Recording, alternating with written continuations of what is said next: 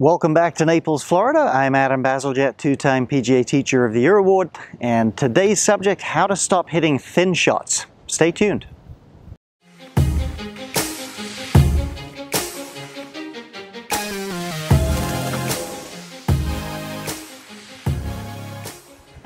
So how to stop hitting thin shots? we'll look at a couple of the most common causes of thin shots. We'll look at a little detail of just what is required at impact. What would you need to do to avoid a thin shot and how much is the correct amount to hit down? And of course, we'll look at some of the things you can do to work on the correct impact position. If you liked the video, please subscribe to the channel. Love to get you more free content and scratchgolfacademy.com is my website. Have full courses in every aspect, including one-on-one -on -one internet lessons with me. Okay, let's get started. So as we get started here, let's just say there can be predetermining factors that would encourage you to hit thin shots. And certainly in this video, we're not going to get into the backswing because things can certainly crop up there that would lead to it. But two of the most common things that often lead to thin shots would be excessive steepness towards the ball. And of course, what happens then? You're either going to jam the club in the ground or much more likely your body reacts to that, hikes up a little bit, either pulls the arms up or the body up and kind of rescues the shot, but often you'll do it too much and thin it. The other one, and really just as common, is a golfer that's too far back and is going to bottom out or hit the ground too early and the mind just isn't going to let that happen consistently, so there'll be a tendency either to hit up or hike up a little bit just to avoid hitting the ground, and again, often leads to thin shots. So let's have a look close up for just a moment. What is really required? What are we trying to do with this downward hit? Once you see the geometry, it's very simple. We can look at how to fix it. Okay, so a thin shot is when the bottom edge of the club is too much against the ball or up high on the ball like that. That's what that is. Now, listen, there's no innate benefit to hitting way down on the ball. There's two things you have to do though. You have to get that sweet spot that's about there tilted onto the golf ball. As you see, that requires a slight downward hit when you have a lofted club with no cushion under the ball. And of course, also, you want to be able to hit the ball before you hit the ground. So you need a little bit of downward hit but there's no magic property to hitting down other than creating solid hit. And of course, if you're in a lie that has a lot more cushion, let's put the ball up a little bit, you hardly need any downward hit to hit that solidly. There's room under the ball to push the sweet spot against the ball. Just a slight, slight downward hit is enough for solid contact. Okay, so we know under normal conditions, as we've just shown you, got to hit a little bit down on irons, but most people's concept of that is very poor and isn't correct, and that is to say there's too much downward hit. Great players really don't do that. They're hitting much more level. If anything, there's more of an upward trend through the shot.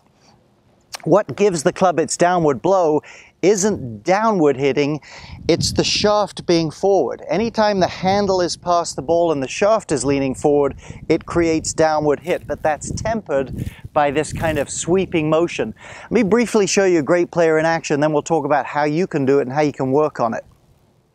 So here's Adam Scott hitting a short iron. Let's just have a look. And you can see here the handle of the club passes the ball, the divot is past the ball, so there's definitely downward hit.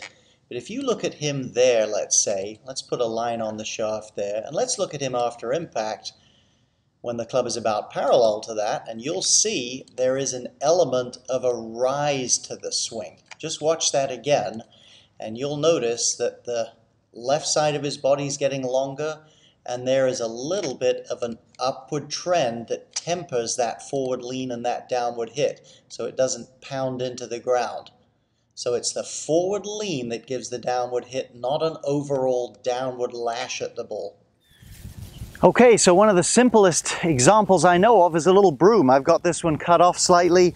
If you had to brush the floor and flick the dust forward, you would get, you have to have some forward lean. You have to have some pressure on the bristles. You can't brush this way and you can't brush when you're above the ground, but you wouldn't add to that such a downward hit that you'd push the bristles into the ground or bend the stick or something like that. So that's exactly what we're trying to do.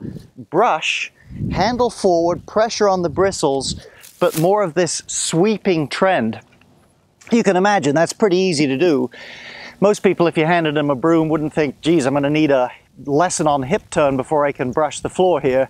You just feel it, and that's what you've got to do with a club. Now, let me just say to you, the difference between hitting down, say, five or six degrees and not hitting down at all, Six degrees is the single stroke of a second hand on the clock. It is very small. That's why someone can't just give you a tip and say, keep this knee straight or don't bend that or whatever it is. Tuck your elbow in and magically you have control over the club at that level of precision. You've got to get the club in your hand and feel it out. I promise you, it's as easy as brushing the floor, just takes a little bit of practice.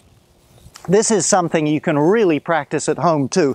Picture this as the carpet or a little rug, just little swings. Can you get the handle forward and can you just tick or skiff the ground a little bit, enough to get the sweet spot on the ball and just keep practicing that.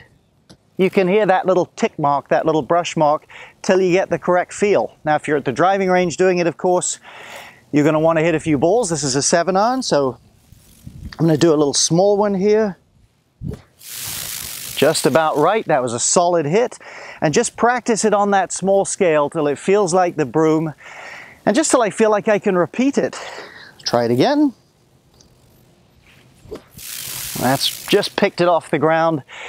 Then just add some speed in. If you struggle, come back to the small ones. This isn't that difficult. When you get the geometry right, when you get the correct amount of brush, and the correct amount of forward lean, you can really, really attain consistency once you do that. If it's, again, if it's a combination of the wrong angle of attack and a bailout or something, I don't care how much you practice, you're just not going to get the consistent type of downward hit that would avoid hitting thin shots going forward. So I hope this helps. So I hope that helps you with how to stop hitting thin shots. If you like the video, leave a comment, subscribe to the channel. Would love to get you more free content. ScratchGolfAcademy.com is my website. Have a full course in iron play there, a lot of detail on this stuff, and one-on-one -on -one internet lessons with me. Thank you.